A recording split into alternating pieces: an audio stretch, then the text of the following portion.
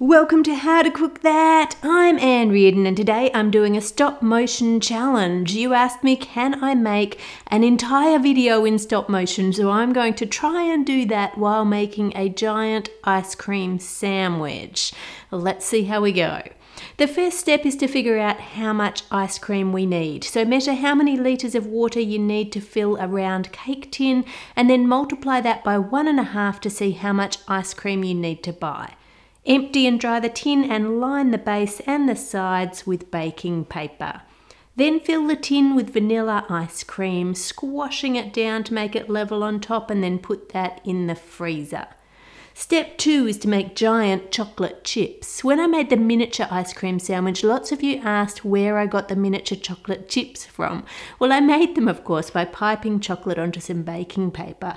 But to make giant ones, we'll need to use a mould. Place lots of chocolate into a bowl and melt it. Then cool it down and temper it. And I'll link you to the tempering video below for those of you who don't know how to do that. Fill the mould with chocolate and place it in the fridge to set. Once it is set, you can just tip them out of the mould and now you have giant chocolate chips ready to go on your cookies. To make the giant cookies, we need to place butter, brown sugar, and normal sugar into a bowl and mix them together on low speed until it's smooth. Then you want to add in your eggs and mix that until it's combined. And I'll put all these recipe quantities on the howtocookthat.net website and there's a link to that below. Add in the flour and the vanilla and the baking powder and mix that all around. Then line a tray with baking paper and add half of your dough on top. Use some flour on your fingers to smooth it out and make it a nice circle and chop a couple of your chocolate chips in half. Arrange some of them on your cookie and then bake that in a slow oven for a long time so it cooks all the way through to the middle. Do the same for your second cookie.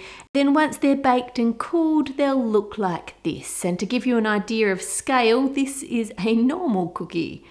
Now look at both of your cookies and decide which one you like the best. I like this one, so we'll use that for the top.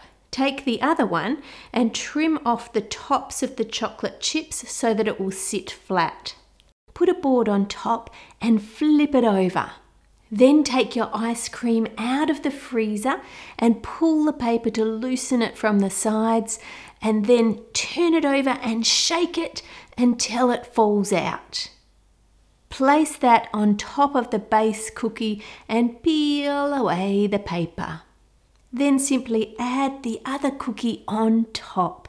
How awesome does that look? We will be eating this at Jed's seventh birthday party, which means my website is now seven years old because I started it when he was born. That's just crazy. Click here to subscribe to How to Cook That, here to see some of my favourite videos from the last seven years, and here to see the latest video. Make it a great week, and I'll see you on Friday.